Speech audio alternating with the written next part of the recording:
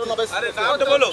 मेरा नाम इस्लाम खान है। कहाँ गए जा रहे थे? मैं सर गाड़ी लेके जा रहा था गाड़ी का रिपेयरिंग कर रहा हूँ मैं बाइक शॉप पे मेरा। रिपेयरिंग के लिए दे रहा था सामान लेके जा रहा था यहाँ बक्सी बाज़ार में। तो यहाँ पर गाड़ी पकड़ लिया है मेरा। तो गाड़ी में आपका खरीदा हूँ मेरा गाड़ी छः हज़ार में खरीदा हूँ। गाड़ी का पेपर वगैरह सर रेडी है। ठीक है तो गाड़ी को लेके जा रहा हूँ छः हज़ार के खरीद के आप यहाँ परचेज का फाइन बोल रहे हैं तो मैं कैसे दूँगा?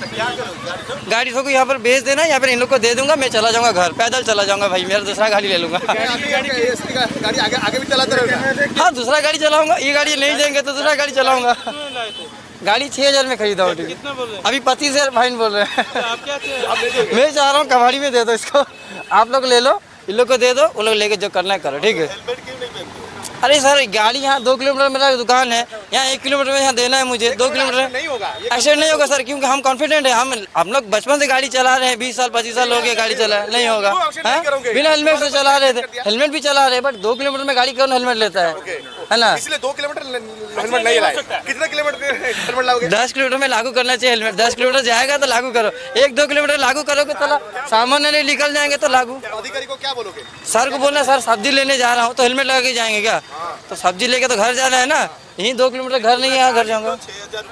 गाड़ी छः हज़ार है ना? गाड़ी छः हज़ार है सर को बोले सर अगर आप दे रहे हैं तो ठीक है अगर नहीं दे रहे हैं कोई प्रॉब्लम नहीं है मैं गाड़ी दे रहा हूँ आप रख लीजिए। पच्चीस दे दो। पच्चीस हज़ार पच्चीस हज़ार तो मेरा घर बिक जाए गाड़ी बिक जाएगा उतने में जाएगा नहीं। ये गाड़ी दो महीना हो गया मैं खरीदा दो चार महीना हो गया। ठीक है सबका ଦୁଇ ମାସରେ ମୁଁ ଏଇଟାକୁ ଆପଣଙ୍କୁ ଦେଇଦେଉଛି ଆପଣମାନେ ନେଇଯାଆନ୍ତୁ ସାର୍ମାନଙ୍କୁ ଦେଇଦେବି ଆପଣମାନେ ରଖନ୍ତୁ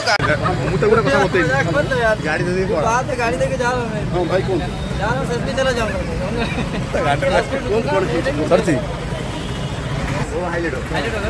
Hey!